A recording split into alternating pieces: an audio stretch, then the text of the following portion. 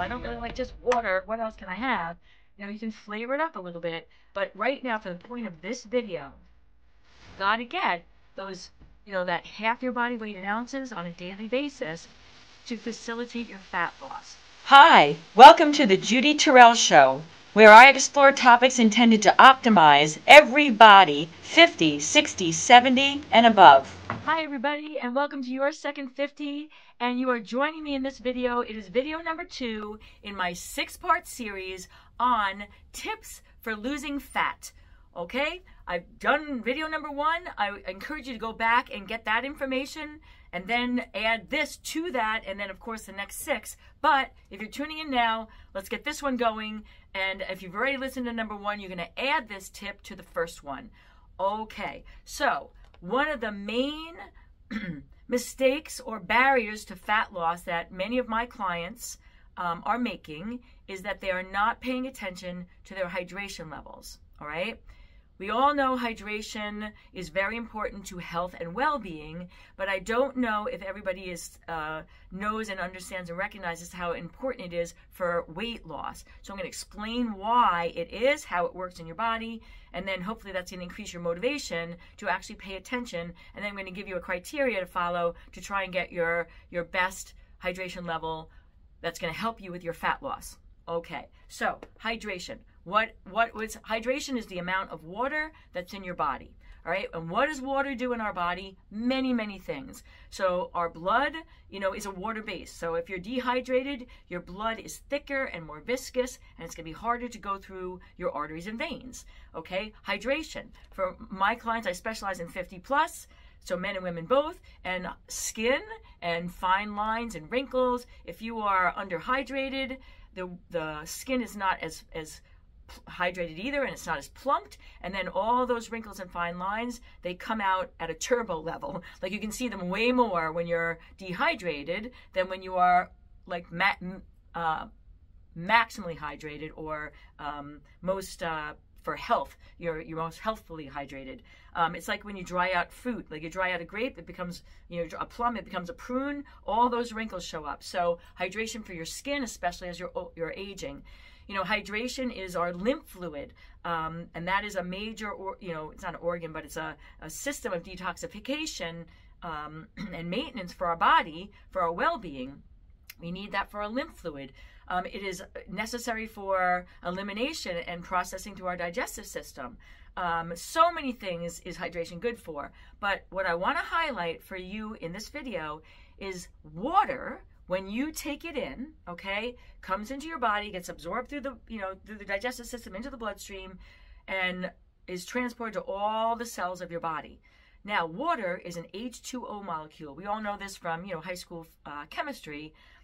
But what water does is it enters into the cells, all right, and then it goes into the the mitochondria, which is an organelle in the cells, which is known as our our furnaces for our energy. That's where energy is burned, whether it be fat or sugar. That's where it happens in this these organelles in our cells. And you're all seeing a lot of information about mitochondria and longevity and optimal health and well-being and energy and all that. And all that is true. But it's not the mitochondria, it's what's going on in the mitochondria. Now you have to have enough of them and longevity research is showing how to get, you know, more of those and how to help repair the ones that are, you know, uh, breaking down from just living your everyday life, but I'm focusing in on water in the mitochondria and how it's affecting our fat burning and our weight management. So water enters into that those mitochondria and it breaks apart into oxygen and hydrogen. And again, from our high school chemistry, it, they enter, they facilitate what's known as the Krebs cycle.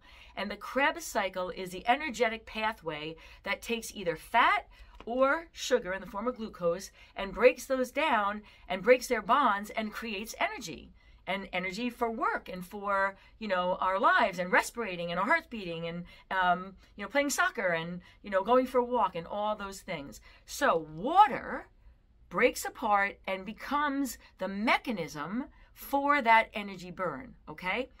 Now your second 50 dot life is my virtual platform that is designed for both men and women over 50 and 60, 70, and 80. and it includes pre-recorded video information on exercise and how to do it whether you're fit and in good health or if you have bad knees, bad shoulders, a bad back, whatever. It includes information on how to eat for weight management and how to eat for health management. It includes information on the psychology of aging and what do we need to do in our heads because let's face it, this aging thing is not for the faint of heart. So your second 50.life is a virtual platform of resources that you can access at your own leisure, but it also includes two times a month live video coaching with me so that you can bring your own individual questions and get individual coaching as well as have access to all the information on the pre-recorded videos.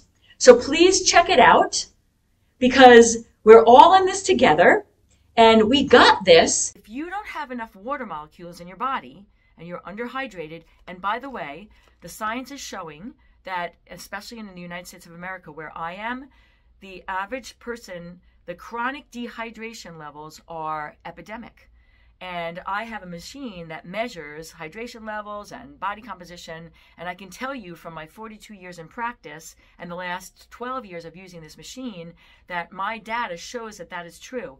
Most of the, many of the clients I work with are under 45% hydration for females and under 50% hydration for males. And both of those are chronic de- dehydration. Now, they'll say to me, I don't feel that. And they, they, they don't, but it's going to come out sideways through a health issue or like fatigue, um, difficulty losing weight, ways that you would never equate with the hydration, but are directly related because of what I'm explaining. Okay, so if you don't have the water to facilitate that, you know, energy um, release in your mitochondria, then you're you're not going to be able. You're going to You'll be able to lose weight and lose fat, which is the goal, and that's what I'm addressing in this video. But it's kind of like driving your car with like one half quart of oil in it.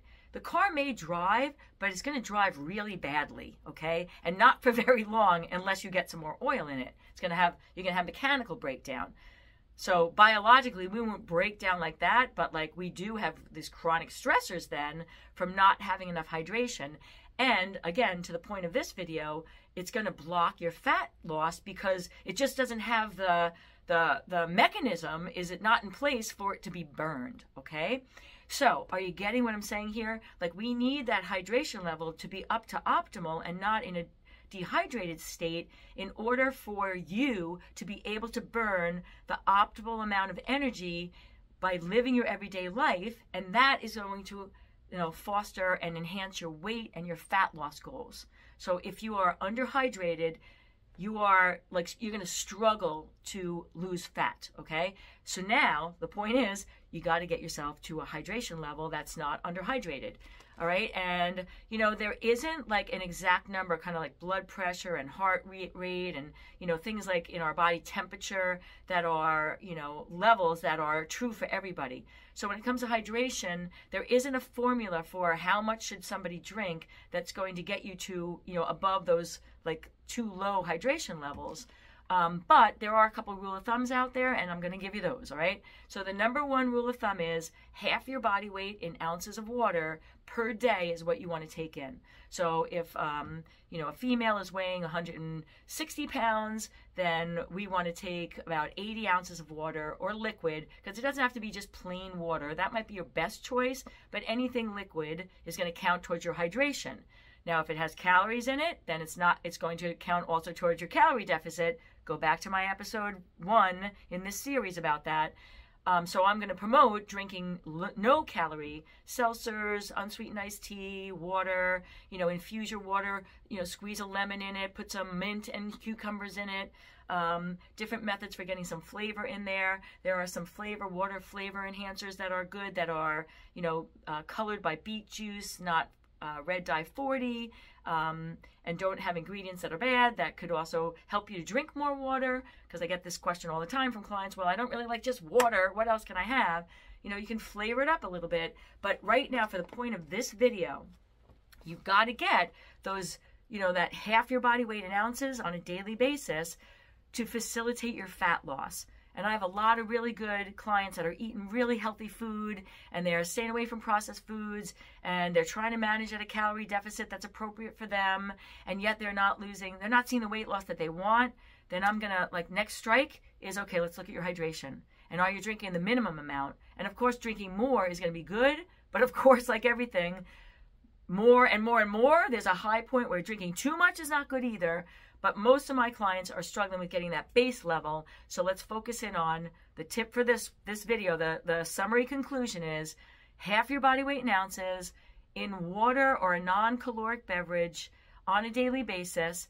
Take that on for a month, doing everything else that you know to do to lose weight. And, and if you've been stalled, um, or not seeing the, the loss on the scale, let's see if this doesn't help to, you know, restart that uh, weight loss um, on the scale again. Okay, everybody? This is my second tip. It's the one of the most common ones I see in my practice.